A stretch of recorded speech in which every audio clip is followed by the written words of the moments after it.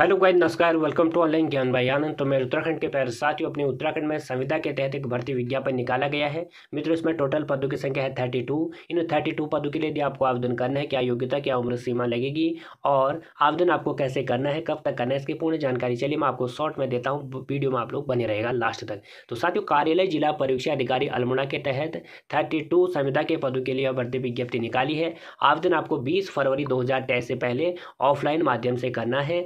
आपको चलिए मैं पद वाइज बता देता हूँ किस पद के लिए क्या योग्यता, क्या उम्र सीमा और किस विभाग में है यह। तो संरक्षण अधिकारी का एक पद है। इसके लिए आपको देख लेना है कि कितना पे आपको दिया जाएगा। सत्ताईस हज़ार आठ सौ चार रुपये यदि सिलेक्शन हो जाता है। योग्यता जो है यहाँ पे किसी मान्यता प्राप्त विश्वविद्यालय से समाजशास्त्र या समाज कार्य या मानवाधिकार लोक प्रकाशन मनोविज्ञान, इनमें से एक सब्जेक्ट से आपने पीजी यानी पोस्ट ग्रेजुएशन किया है तो आप लोग आवेदन कर सकते हैं। तीस से पैंतालीस वर्ष की एज आपकी होनी चाहिए।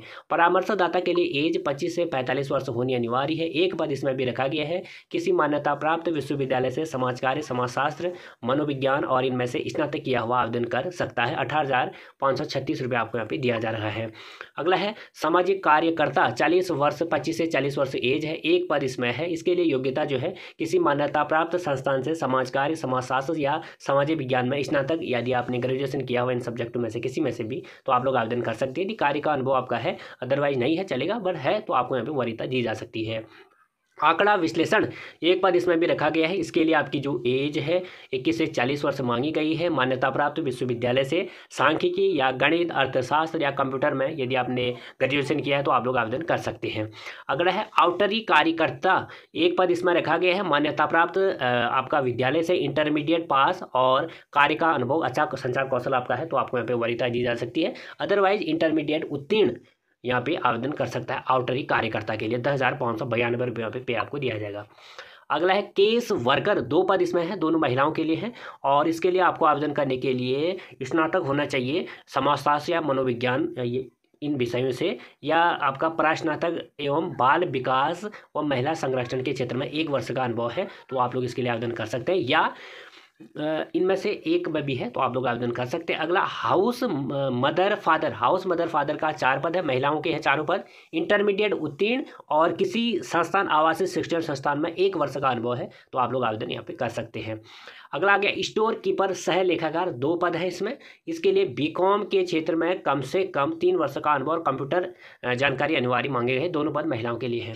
अगला प्रबंधन समन्वयक, दो पद इसमें है, एक पुरुष, एक महिला। इसके लिए स्नातक या प्रास्नातक के साथ अंग्रेज़ी का ज्ञान होना अनिवार्य है कंप्यूटर में छः माह का डिप्लोमा और इंटरनेट पर कार्य का अनुभव और प्रबंधक के कार्य करने का एक वर्ष का अनुभव यहाँ पे मांगा गया है। अगला है अर्ध चिकित्सा स्टाफ नर्स। इसके लिए चार पद है, चारों महिलाओं के लिए है। इसके लिए इंटरमीडिएट उत्तीर्ण और नर्सिंग होम में या किसी चिकित्सालय में दो वर्ष का कंपाउंडर का आपका अनुभव इसमें मांगा गया है। अगला है आस आया छः पद है इसमें महिलाओं के लिए है छः छः के छः पद।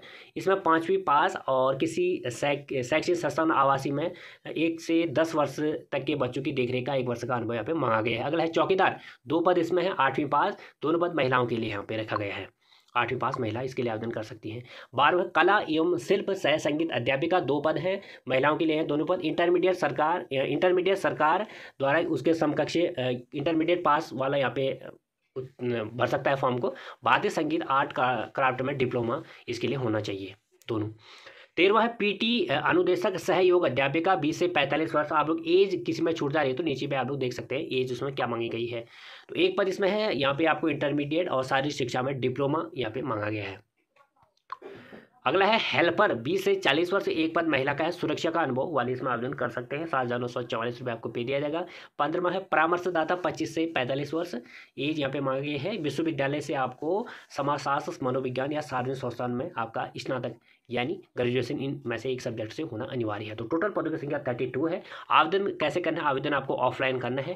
कंप्यूटर सेंटर में जाकर ये प्रारूप आपको इस टाइप का बना लेना है। उसको पूरा अपनी जानकारी, सही जानकारी भर कर आपको साथियों, आपको इस पते पर भेजनी है। स्पीड पोस्ट या आप लोग बाई वहाँ पर जाकर भी भर सकते हैं। जिला परीक्षा अधिकारी कार्यालय, कमरा नंबर तीन सौ चौदह, विकास भवन, अल्मोड़ा। इसमें पंजीकृत डाक द्वारा या खुद जाकर आप लोग बीस फरवरी दो हज़ार तेईस से पहले भर सकते हैं।